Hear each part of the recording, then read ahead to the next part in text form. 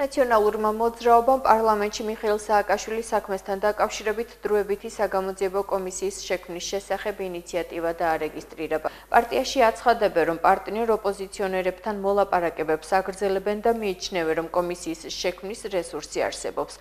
კომისიის შექმნისთვის 50 ხმა არის საჭირო. ოპოზიციის ერთი ნაწილისთვის ინიციატივა მიუღებელია, მეორე ნაწილი კი მხარდაჭერას გეგმავს. დავარეგისტრირეთ საგამოძიებო კომისია, რომელიც ეხება მიხეილ სააკაშვილის მიმართ არაადამიანური და აღირსება შემლახავი მოპყრობის ფაქტებს. თეორიულად არსებობს ოპოზიციაში იმის რესურსი, რომ ეს კომისია შეიქმნას, ჩვენ ვაგრძელებთ მოლაპარაკებას ჩვენს პარტნიორებთან ოპოზიციაში. ამიტომ ეხლა მე მიუხედავთ იმისა, რომ მესმის, რომ ქართულ ოცნებას არ უნდა ეს კომისია რო შეიქმნას, გამოგვიცხადეს პროცედურულ ომს, მაგრამ შევეცდებით, რომ საზოგადოების წინაშე გამოვიდეთ გავიტანოთ ყველა დეტალი. მე ხელი მოვაწერე შესაბამის ინიციატივას საგამოძიებო კომისიის შექმნას მხარს უჭერ შესაბამისად ამ ინსტრუმენტის გამოყენება მათ შორის მიხელ სააკაშვილის უფლებების დასაცავად ჩემი აზრით არის მნიშვნელოვანი და იმედი მაქვს რომ შედგება საკმარისი რაოდენობის მხარდაჭერა. დიდი ხნის წინ თქვით ჩვენი პირობა რა შემთხვევაშიც დაუჭერდით ხარს ამ კომისიის შექმნას მიუხედავად იმისა, რომ არც მან კომისიაში ვაპირებთ მონაწილეობის მიღებას და არც აუცილებელი გონია მისი შექმნა, მაგრამ ვინაიდან ეს ჩვენი კოლეგებისთვის მნიშვნელოვანია და თვლიან, რომ ასე არის საჭირო, ჩვენ იმისანაცვლოდ, როცა ჩვენ დაგვჭირდება, ჩვენ დაგვეხმარებიან საგამოძიებო კომისიის შექმნაში და კოცების მოსყიდულებს და რაღაცებს აგვეძახიან, ხარს დაუჭერთ ამ კომისიის შექმნას. მნიშვნელოვანია საპარლამენტო ცხოვრებაში საგამოძიებო კომისიების როლი და ფუნქცია. ეს შეუძლია ოპოზიციამ თავად შექმნას ხელისუფლების მონაწილეობის გარეშე და ჩვენ რა თქმა უნდა ის მექანიზმები უნდა გამოვიყენოთ. რაც შეეხება მესამე პრეზიდენტის კომისიას, მე ვფიქრობ, რომ ეს საკითხი უნდა განვიხილოთ სხვა კომისიებთან ერთად.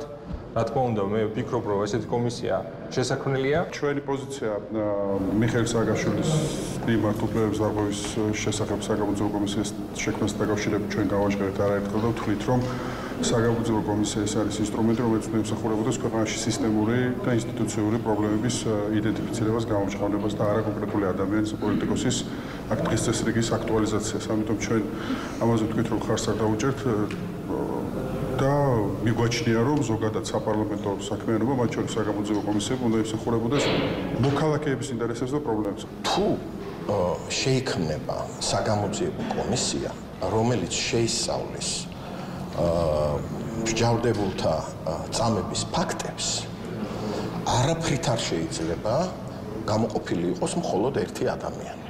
უნდა შეიქმნას ეს კომისია და ზოგადად შევისწავლოთ ჩვენს ქვეყანაში მსჯავრდებულთა წამების ფაქტები. თლიანად. ავიღოთ ბოლო თქვა 20 წელი და შევისწავლოთ, იმიტომ რომ ყველამ კარგად ვიცით, რომ ძალიან დიდი ოდენობა იყო ესეთი ადამიანების, ხო?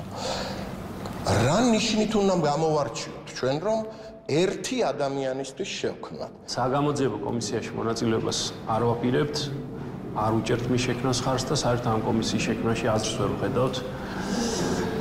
იმიტომ რომ უამრავი პრობლემა ამ ქვეყანაში და კარგი იქნებოდა თუ რეალური პრობლემები რომელიც ხალხს აწუხებს ავიც თუ დავიწყდა ვინმეს რა პრობლემებია შეგვიძლია გავახსენოთ უმუშევრობა სიღარიბე გაჭირვება გარბის ხალხი აქედან უკვე მთავრობაც აღიარებს, რომ ხელიდან გაიქცათ კოვიდის მართვა და ასე შემდეგ და ასე შემდეგ. ამ საკითხებზე რო შევქვნათ კომისიები, იქნება გაცილებით უკეთესი.